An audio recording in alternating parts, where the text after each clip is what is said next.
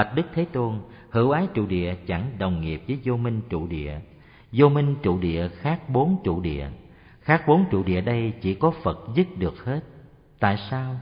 Vì a la hán và bích chi phật dứt bốn trụ địa, mà đối với lậu tận lực chẳng được, tự tại chẳng hiện chứng được. Thế nên a la hán bích chi phật nhận đến chư bồ tát tối hậu hữu gì bị vô minh trụ địa nó che lấp. Cho nên ở nơi các pháp ấy chẳng biết chẳng thấy. Vì chẳng biết chẳng thấy nên đáng dứt chẳng dứt, đáng hết chẳng hết. Vì ở nơi các pháp ấy chẳng dứt chẳng hết nên được hữu dư giải thoát mà chẳng phải nhất thiết giải thoát. Được hữu dư thanh tịnh mà chẳng phải nhất thiết thanh tịnh. Được hữu dư công đức mà chẳng phải nhất thiết công đức. Bạch đức thế tôn vì được hữu dư nên ở nơi thánh đế, các bậc ấy biết khổ hữu dư, dứt tập hữu dư, chứng thiệt hữu dư và tu đạo hữu dư. Nếu còn là biết hữu dư khổ dứt, hữu dư tập chứng, hữu dư diệt và tu hữu dư đạo, thì gọi là chút phần diệt độ chúng chút phần niết bàn hướng đến niết bàn giới. Nếu biết tất cả khổ dứt, tất cả tập chứng, tất cả diệt và tu tất cả đạo bậc này ở nơi thế gian vô thường, bại hoại chứng được niết bàn, thường tịch thanh tịnh. Bậc này ở nơi thế gian không giúp không nương, làm chỗ giúp chỗ nương. Tại sao? Vì người ở nơi các pháp mà thấy có cao thấp, thì chẳng chứng được niết bàn. Người trí bình đẳng, giải thoát bình đẳng, thanh tịnh bình đẳng mới chứng được niết bàn. Vì thế nên niết bàn gọi là bình đẳng nhất vị, đó là vị giải thoát vậy. Bạch đức thế tôn nếu vô minh trụ địa chẳng dứt chẳng hết thì chẳng chứng được niết bàn nhất vị bình đẳng. Tại sao? Vì vô minh trụ địa chẳng dứt chẳng hết thì hơn số hàng hà xa những pháp sai lầm đáng dứt còn chẳng dứt, đáng hết còn chẳng hết. Vì còn hơn số hàng hà xa những pháp sai lầm chẳng dứt chẳng hết, nên quá hàng hà xa số, các pháp công đức chẳng trọn chẳng chứng được thế nên vô minh trụ địa là nơi sanh ra các tùy phiền não, tất cả pháp lỗi lầm, đáng chết, đáng hết. Từ đó sanh ra phiền não chướng tâm, phiền não chướng chỉ, phiền não chướng quán, phiền não chướng tịnh lự dẫn đến chướng tam ma đề gia hạnh trí quả, chứng thập lực, tứ vô sở úy. Hơn cả số hàng hà sa các phiền não, các khởi phiền não mà trí kim cương đẳng chánh giác của như lai hay dứt diệt. Tất cả đều nương nơi vô minh trụ địa, vì vô minh trụ địa làm nhân duyên vậy. Bạch đức thế tôn khởi phiền não đây sát na sát na, cùng tương ưng với tâm. Từ vô thủy đến nay, vô minh trụ địa chẳng tương ưng với tâm. Bạch đức thế tôn, ví như tất cả giống của cây cỏ đều nương nơi đại địa mà sanh trưởng nếu đại địa hoại hư thì chúng nó cũng hoại hư. Cũng vậy, hơn số hàng hà sa các pháp đáng được dứt diệt bởi trí kim cương đẳng chánh giác của đức như lai đều nương nơi vô minh trụ địa mà sanh trưởng. Nếu vô minh trụ địa dứt hết, thì các pháp phiền não ấy cũng dứt hết. Vì hơn số hàng hà sa các pháp đáng dứt diệt, cùng tất cả phiền não và khởi phiền não đã dứt diệt hết, nên chứng được quá số hàng hà sa các pháp chư Phật bất khả tư nghị. Ở nơi các pháp chứng được vô ngại thần thông, được các trí kiến rời lìa tất cả sai lầm, được tất cả công đức, làm đại pháp dương tự tại nơi tất cả pháp chứng bậc nhất thiết pháp tự tại. Chánh sư tử hống rằng, ngã sanh đã hết, phạm hạnh đã lập, việc làm đã xong, chẳng còn thọ thân sau do đó nên đức thế tôn dùng sư tử hống y nơi liễu nghĩa một mực ghi nhận như vậy. Bạch đức thế tôn trí chẳng thọ thân sau ấy có hai thứ. Một là chư phật như lai dùng sức điều ngự, xô dẹp bốn ma siêu diệt các thế gian, được các loài hữu tình chiêm ngưỡng, chứng pháp thân thanh tịnh chẳng nghĩ bàn. Nơi bậc sở tri được pháp tự tại tối thắng vô thượng, không còn phải làm chẳng thấy còn có bậc nào phải được chứng nữa. Đầy đủ mười trí lực nên bậc tối thắng vô ý. Nơi tất cả pháp quan sát vô ngại chánh sư tử hống chẳng thọ thân sau.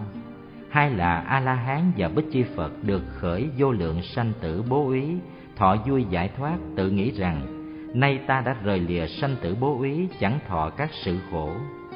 Bạch Đức Thế Tôn, hàng A-la-hán và Bích Chi Phật quan sát như vậy rồi, chẳng thọ thân sau, họ chẳng chứng được Niết Bàn tịch diệt đệ nhất. Vì họ ở nơi các bậc chưa chứng chẳng gặp được Pháp để có thể hiểu biết rằng, nay ta chứng được bậc hữu chư y quyết định sẽ chứng vô thượng chánh đẳng chánh giác. Tại sao? Vì thanh văn và duyên giác đều nhập vào Đại Thừa, mà Đại Thừa là Phật Thừa, thế nên Tam Thừa tức là Nhất Thừa. Người chứng Nhất Thừa thì được vô thượng Bồ Đề, vô thượng Bồ Đề tức là Niết Bàn. Nói Niết Bàn đây tức là Pháp thân thanh tịnh của Như Lai. Người chứng Pháp thân tức là Nhất Thừa không có Như Lai khác, không có Pháp thân khác. Nói Như Lai ấy tức là Pháp thân. Người chứng Pháp thân cứu cánh tức là cứu cánh Nhất Thừa Người cứu cánh nhất thừa tức là rời lìa tương tục. Tại sao? Bạch Đức Thế Tôn Vì Như Lai thường trụ không có hạn lượng bằng với hậu tế. Như Lai hay dùng đại bi vô hạn, thệ nguyện vô hạn đem lợi ích lại cho các thế gian. Người nói như trên đây thì gọi là lời nói phải. Nếu lại nói rằng Như Lai là thường là Pháp vô tận chỗ y tựa cứu cánh của tất cả thế gian thì cũng gọi là lời nói phải. Vì thế nên Như Lai ở nơi thế gian không được giúp đỡ, không chỗ y tựa làm chỗ quy y vô tận, chỗ quy y thường trụ, chỗ quy y cứu cánh mãi đến hậu tế. Nói rằng Pháp Như Lai ứng cúng đẳng chánh giác ấy là đạo nhất thừa, tăng đó là chúng tam thừa. Hai chỗ quy y này chẳng phải là cứu cánh quy y, mà gọi là thiểu phần quy y. Tại sao? Vì nói đạo nhất thừa chứng pháp thân cứu cánh rồi sau đó không còn nói đạo nhất thừa chúng tam thừa vì có khủng bố nên quy y như lai cầu xuất gia tu học vì có sở tác vì hướng đến vô thượng bồ đề, thế nên pháp và tăng chẳng phải chỗ quy cứu cánh, là chỗ quy y hữu hạn nếu các hữu tình được như lai điều phục quy y nơi như lai, được pháp thấm nhuần do lòng tin ưa mà quy y nơi pháp, và tỳ kheo tăng, Hai sự quy y này do Pháp thấm nhuần mà tính nhập quy y. Như Lai ấy chẳng phải Pháp thấm nhuần tính nhập quy y. Nói Như Lai ấy là chân thiệt quy y. Hai sự quy y kia cứ nơi nghĩa chân thiệt thì gọi là cứu cánh quy y Như Lai. Tại sao? Vì Như Lai chẳng khác với hai sự quy y ấy. Vì thế nên Như Lai tức là tam quy y. Tại sao? Vì nói đạo nhất thừa, Như Lai tối thắng đủ tứ vô sở úy chánh sư tử hống. Nếu chư Như Lai tùy theo sở dục của người mà dùng phương tiện nói pháp nhị thừa, tức là đại thừa. Bởi đệ nhất nghĩa không có nhị thừa, nhị thừa ấy đồng vào nhất thừa, nhất thừa ấy tức là thắng nghĩa thừa. Bạch Đức Thế Tôn, hàng thanh văn và duyên giác lúc mới đầu chứng thánh đế chẳng phải dùng nhất trí mà dứt các trụ địa phiền não cũng chẳng phải dùng nhất trí chứng các công đức như tứ biến tri, vân vân. Cũng chẳng phải dùng pháp hay khéo biết rõ nghĩa bốn pháp này. Bạch Đức Thế Tôn, nơi trí xuất thế không có bốn trí tuần tự đến tuần tự duyên. Trí xuất thế không có pháp lần lượt đến như kim cương dụ. Bạch Đức Thế Tôn, hàng thanh văn và duyên giác dùng các thứ trí thánh đế để dứt các trụ địa. Họ thấy có trí xuất thế để nhất nghĩa, chỉ có Đức Như Lai ứng cúng chánh đẳng chánh giác, dùng trí bất tư nghị không tánh phá được vỏ của tất cả phiền não. Trí phá vỏ phiền não cứu cánh ấy gọi là trí xuất thế đệ nhất nghĩa, chẳng phải cảnh giới của hàng thanh văn và duyên giác. Trí thánh đế sơ khởi chẳng phải trí cứu cánh, mà là trí hướng đến vô thượng bồ đề. Bạch Đức Thế Tôn, chân thánh đế nghĩa ấy thì chẳng phải thuộc về nhị thừa, tại sao? Vì hàng thanh văn và duyên giác chỉ thành tựu được chút phần công đức mà gọi là thánh. Nói rằng thánh đế ấy chẳng phải là đế của hàng thanh văn duyên giác và công đức của họ, mà thánh đế này chỉ có Đức Như Lai biết rõ rồi đem diễn nói khai thị cho thế gian chúng sanh bị nhốt trong vỏ vô minh, do đây mà gọi là thánh đế.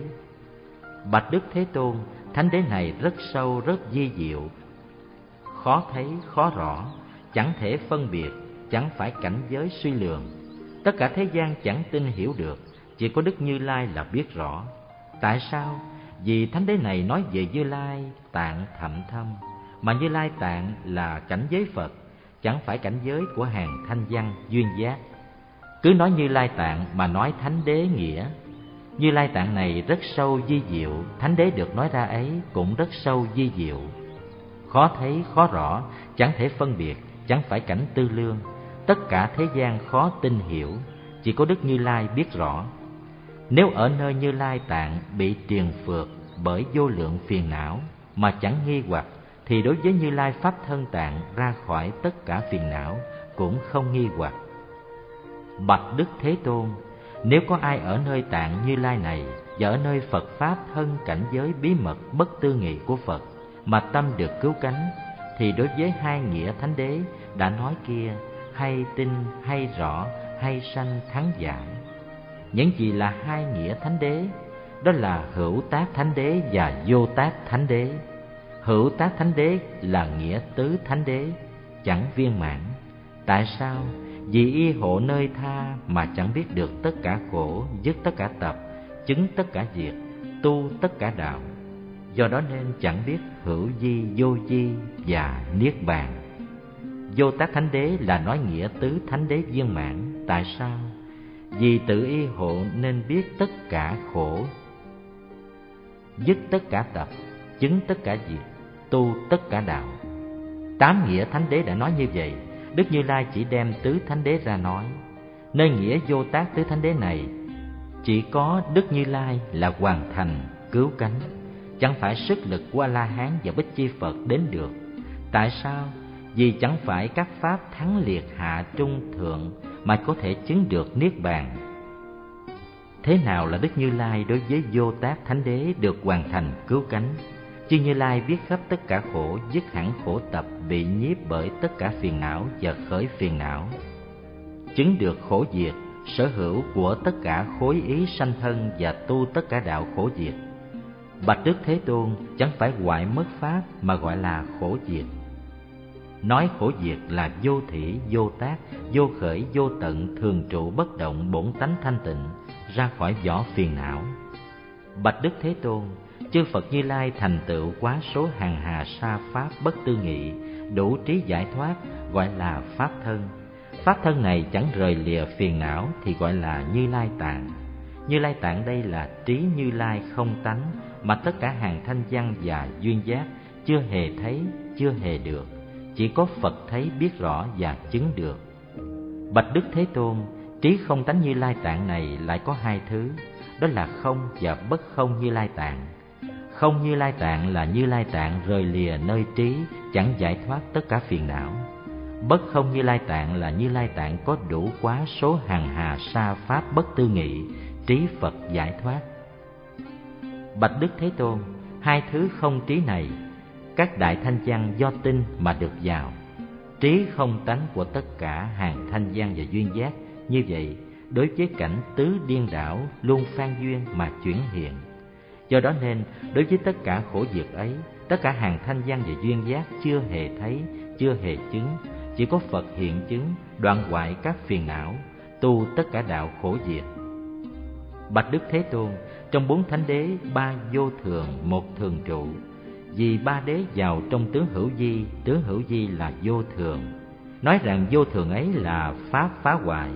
Pháp phá hoại thì chẳng phải đế, chẳng phải thường, chẳng phải chỗ quy y do đệ nhất nghĩa nên ba đế ấy chẳng phải đế, chẳng phải thường, chẳng phải chỗ quy y.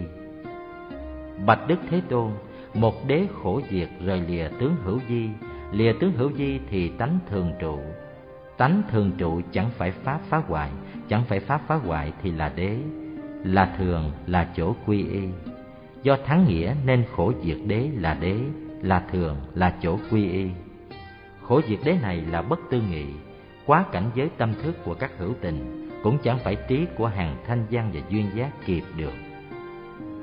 Ví như người sanh manh, chẳng thấy được các màu sắc, trẻ sơ sanh bảy ngày chẳng thấy mặt trời.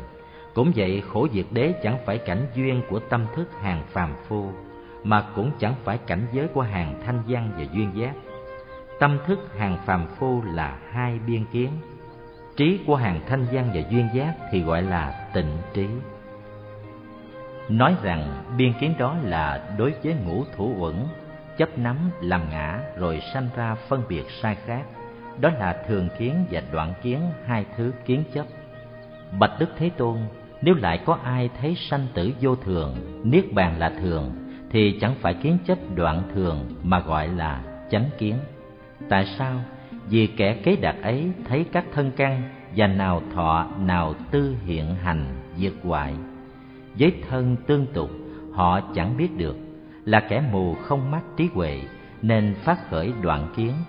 Với tâm tương tục sát na diệt hoại, họ ngu tối chẳng biết cảnh giới ý thức nên phát khởi thường kiến. Nhưng những nghĩa ấy quá các phân biệt và quá kiến thức hạ liệt, do hàng ngu phu vọng sanh ý tưởng dị biệt rồi điên đảo chấp trước cho là đoạn là thường.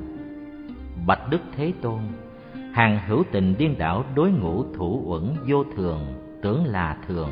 Khổ tưởng là lạc, vô ngã tưởng là ngã. Bất tịnh tưởng là tịnh. Hàng thanh văn và duyên giác có tịnh trí, đối với cảnh giới và pháp thân của phật chưa hề thấy được. Hoặc vì tin như lai nên đối với như lai sanh ra ý tưởng là thường, là lạc, là ngã, là tịnh. Đây chẳng phải kiến chấp điên đảo mà là chánh kiến. Tại sao? Vì như lai pháp thân là thường ba la mật, là lạc ba la mật, là ngã ba la mật, là tịnh ba la mật vậy. Nếu các hữu tình có ý tưởng như trên đây thì gọi là chánh kiến.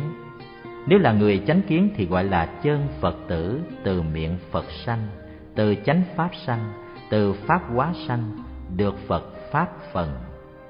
Bạch đức thế tôn nói rằng tịnh trí ấy là trí ba la mật của hàng thanh văn và duyên giác. Tịnh trí này đối với khổ diệt đế còn chẳng phải cảnh giới. Huống khổ diệt đế là sở hành của bốn trí nhập lưu. Tại sao? Vì hàng tam thừa sơ nghiệp, người chẳng ngu pháp, có thể ở nơi nghĩa ấy sẽ chứng, sẽ tỏ. Bạch đức thế tôn, do nghĩa gì mà nói bốn nhập lưu?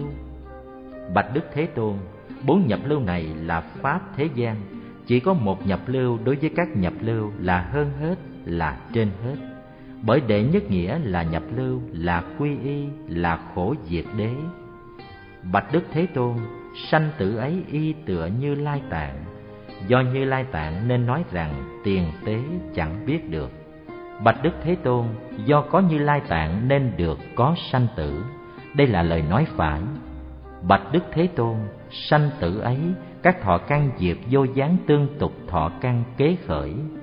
Gọi đó là sanh tử. Bạch đức thế tôn, hai pháp sanh tử là như lai tạng, nơi pháp thế tục gọi đó là sanh tử. Bạch đức thế tôn nói rằng tử là các thọ căn diệt và sanh là các thọ căn khởi. Như lai tạng thì chẳng sanh, chẳng tử, chẳng thăng chẳng trụy rời lìa tướng hữu di. Bạch đức thế tôn, như lai tạng ấy thường hằng chẳng hoại, nên như lai tạng là y, là trì, là kiến lập cho tạng trí chẳng lìa giải thoát, và cũng là y trì kiến lập cho các pháp hữu chi trí rời lìa chẳng giải thoát. Bạch đức thế tôn, nếu không có như lai tạng thì không có chán khổ vui cầu niết bàn. Tại sao? Vì ở nơi sáu thức này và cảnh sở tri, bảy pháp như vậy sát na không dừng, chẳng nhận chịu các khổ, chẳng kham nhàm lìa nguyện cầu niết bàn. Như lai tạng ấy không có tiền tế, không sanh, không diệt, pháp nhĩ nhận chịu các khổ. Nó là nhàm khổ nguyện cầu niết bàn. Bạch đức thế tôn, như lai tạng ấy chẳng phải là có ngã nhân chúng sanh thọ giả như lai tạng ấy chẳng phải là cảnh sở hành của các hữu tình thân kiến, điên đảo và không kiến. Bạch đức thế tôn, như lai tạng ấy là tạng pháp giới, tạng pháp thân, tạng xuất thế gian, tạng tánh thanh tịnh, là bổn tánh thanh tịnh. Như chỗ tôi hiểu thì như lai tạng ấy dầu bị khách trần phiền não làm ô nhiễm, vẫn còn là cảnh giới như lai bất khả tư nghị. Tại sao? Vì sát na sát na tâm bất thiện tâm thiện cùng khách trần phiền não chẳng ô nhiễm được như lai tạng tại sao? Vì phiền não chẳng chạm đến tâm mà tâm cũng chẳng chạm đến phiền não. Pháp chẳng chạm xúc làm sao có thể nhiễm được tâm? Bạch đức thế tôn vì có phiền não nên có tâm tùy nhiễm. Tùy theo phiền não nhiễm ấy khó hiểu khó rõ. Chỉ có Đức Phật Thế Tôn là mắt, là trí, là cội rễ Pháp, là tôn thượng, là đạo sư, là chỗ y tựa của chánh Pháp mới như thiệt thấy biết thôi. Bây giờ Đức Thế Tôn khen ngợi tháng mang phu nhân, lành thay, lành thay, đúng như lời người vừa nói, tánh thanh tịnh tâm tùy theo phiền não nhiễm khó rõ biết được. Này tháng mang, còn có hai thứ pháp khó rõ biết được, đó là tánh thanh tịnh tâm khó rõ biết được và tâm ấy bị phiền não ô nhiễm cũng khó rõ biết được. Hai pháp này, ngươi và Bồ Tát thành tựu đại pháp mới có thể nghe hiểu nhận lãnh. Các hàng thanh văn do nơi tín tâm mà hiểu được. Này thắng mang, nếu các đệ tử ta, người có tăng thượng tín tâm tùy thuận pháp trí, ở nơi pháp này mà được cứu cánh. Thuận pháp trí là quán sát căn thức và cảnh, quán sát nghiệp báo, quán sát a la hán ngủ, quán sát tâm tự tại ưa thích thiền duyệt, quán sát thánh thần thông biến của thanh văn và duyên giác. Do thành tựu năm pháp quán sát thiện xảo này, nên hiện tại và vị lai, các hàng thanh văn đệ tử do nơi tăng thượng tiến tâm, tùy thuận pháp trí khéo hiểu rõ được tánh thanh tịnh, tâm bị phiền não ô nhiễm mà được cứu cánh. Này thắng mang, cứu cánh này là nhân của đại thừa, nay ngươi nên biết, người tin Như Lai thì đối với pháp thậm thâm chẳng sanh lòng phỉ bán. Thắng mang phu nhân bạch rằng: Bạch Đức Thế Tôn, còn có các nghĩa hay đem lại nhiều lợi ích. Tôi sẽ thừa sức oai thần của Đức Phật diễn nói các sự ấy. Đức Phật bảo, lành thay, nay cho phép ngươi nói. Thắng mang phu nhân nói, có ba hạng thiện nam tử thiện nữ nhân đối với pháp thậm thâm rời lìa sự tự phá hại sanh nhiều công đức vào đạo đại thừa. Một là người thành tựu thậm thâm pháp trí, hai là người thành tựu tùy thuận pháp trí, ba là người đối với pháp thậm thâm này chẳng hiểu rõ được, mà kính tôn đức như lai chỉ có đức phật biết được, chẳng phải cảnh giới của tôi. Trừ ba hạng người này, các hữu tình khác đối với pháp thậm thâm, tùy theo chỗ mình nắm lấy mà chấp trước vọng thuyết, chống trái chánh pháp quân tập chủng tử hữu bại, các ngoại đạo. Dầu họ ở phương khác cũng phải đến đó trừ diệt những kẻ hữu bại ấy. Tất cả nhân thiên phải cùng nhau xô dẹp họ. Nói lời ấy xong, thắng mang phu nhân và các quyến thuộc đánh lễ chân phật. Đức phật khen rằng, lành thay, thắng mang ở nơi pháp thậm thâm phương tiện thủ hộ hàng phục quán địch, khéo có thể thông đạt ngươi đã gần gũi trăm ngàn cu chi chư phật như lai, nên có thể nói được nghĩa ấy. Bấy giờ, đức thế tôn phóng quang minh thù thắng, chiếu khắp đại chúng, hiện thân lên hư không cao bảy cây đa la, dùng sức thần thông chân bước trên hư không trở về thành xá vệ. Thắng mang phu nhân và các quyến thuộc chiêm ngưỡng đức như lai, mắt không tạm rời, quá tầm mắt rồi tất cả vui mừng hớn hở cùng nhau, thay phiên ca ngợi công đức của Như Lai và đồng nhất tâm niệm Phật trở về thành vô đấu khuyên vua hữu xưng kiến lập đại thừa. Nữ nhân trong thành từ 70 tuổi trở lên thắng mang phu nhân đem đại thừa giáo hóa. Vua hữu xưng cũng đem đại thừa giáo hóa các nam tử từ 7 tuổi trở lên. Nhân dân cả nước không ai là chẳng học đại thừa pháp. Bấy giờ đức thế tôn vào rừng thể đa gọi tôn giả a nan và nghĩ đến thiên đế ứng theo tâm nghĩ của Phật, Thiên Đế Thích cùng quyến thuộc chư thiên đến chỗ Đức Phật. Đức Thế Tôn bảo Thiên Đế Thích: "Này Kiều Thi Ca, ngài nên thọ trì kinh này rồi diễn thuyết khai thị cho chư thiên cõi đau lợi để họ được an lạc." Đức Thế Tôn lại bảo Tôn giả A Nan: "Ông cũng thọ trì vì hàng tứ chúng mà phân biệt diễn thuyết." Thiên Đế Thích bạch rằng: "Bạch Đức Thế Tôn, kinh này sẽ đặt tên là gì và phụng trì thế nào?" Đức Phật dạy: này Kiều Thi Ca, kinh này thành tựu vô biên công đức sức lực của thanh văn và duyên giác không đến được, huống là các hữu tình khác. Nên biết rằng kinh này là khối đại công đức thậm thâm di diệu, nay sẽ vì Ngài mà nói lượt tên kinh. Lắng nghe, lắng nghe, khéo suy nghĩ, nhớ lấy. Thiên Đế Thích và Tôn giả A Nan đồng bạch rằng: Lành thay Đức Thế Tôn, kính dân thọ giáo. Đức Phật dạy: Kinh này tán thán Như Lai chân thiệt công đức, phải thọ trì như vậy. Kinh này nói mười điều hoàng thể bất tư nghị, phải thọ trì như vậy. Kinh này dùng một đại nguyện nhiếp tất cả nguyện phải thọ trì như vậy. Kinh này nói nhiếp thọ chánh pháp bất tư nghị phải thọ trì như vậy. Kinh này nói nhập nhất thừa phải thọ trì như vậy. Kinh này nói vô biên tế phải thọ trì như vậy. Kinh này nói như lai tạng phải thọ trì như vậy. Kinh này nói Phật Pháp thân phải thọ trì như vậy. Kinh này nói không tánh nghĩa che ẩn chân thiệt, phải thọ trì như vậy. Kinh này nói nghĩa một thánh đế, phải thọ trì như vậy. Kinh này nói một sở y thường trụ bất động, tịch tỉnh, phải thọ trì như vậy. Kinh này nói điên đảo chân thiệt, phải thọ trì như vậy. Kinh này nói tự tánh thanh tịnh, tâm bị phiền não che ẩn, phải thọ trì như vậy. Kinh này nói chân Phật tử phải thọ trì như vậy. Kinh này nói thắng mang phu nhân chánh sư tử hống phải thọ trì như vậy. Lại này Kiều Thi Ca, Chỗ nói của kinh này dứt tất cả nghi hoặc, Quyết định liễu nghĩa nhập vào đạo nhất thừa Này Kiều Thi Ca, Nay đem kinh thắng mang phu nhân sư tử hống đã được nói đây, Giao phó cho Ngài mãi đến thời gian chánh pháp còn Ngài nên đem diễn thuyết khai thị khắp mười phương Thiên đế thích bạch rằng Lành thay Đức Thế Tôn Kính dân thọ giáo Bây giờ Thiên Đế Thích, Tôn giả A Nan và các chúng trong đại hội, trời, người, Atula, Càm Tháp Bà, vân vân, nghe lời Phật dạy đều rất vui mừng tiến thọ phụng hành. Pháp hội thắng mang phu nhân thứ bốn mươi tám hết.